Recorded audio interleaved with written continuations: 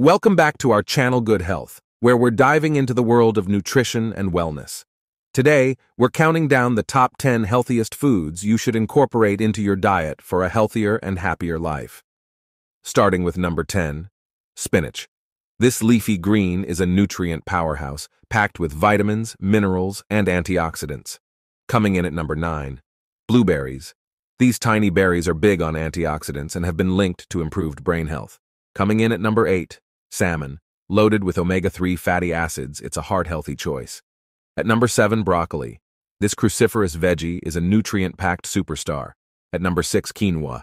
It's a complete protein and gluten-free, making it a fantastic choice for various diets. Let's move on to number 5, almonds. A great source of healthy fats, fiber, and protein, perfect for snacking. Now, number 4, sweet potatoes. They're rich in vitamins and fiber, making them a nutritious carbohydrate source. And here's number three, oats. High in soluble fiber, they can help lower cholesterol and keep your digestion on track. Now, let's unveil number two, avocado. With healthy fats and potassium, it's excellent for heart health.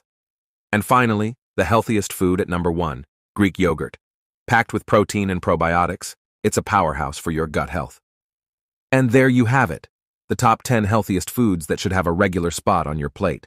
Remember, a balanced diet is key to overall wellness. If you found this video informative, don't forget to give it a thumbs up and subscribe to our channel for more health and nutrition tips. Thanks for watching.